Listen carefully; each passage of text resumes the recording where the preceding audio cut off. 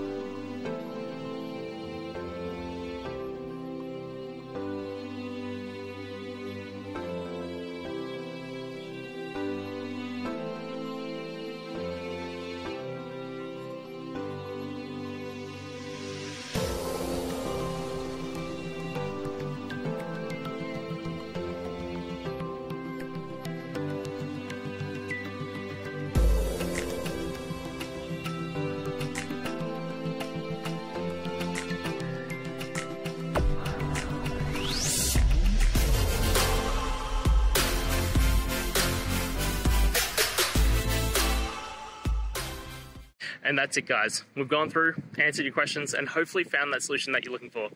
If we did, please hit subscribe. I'd really appreciate it. And until the next time you need technical help, I hope you have a good one.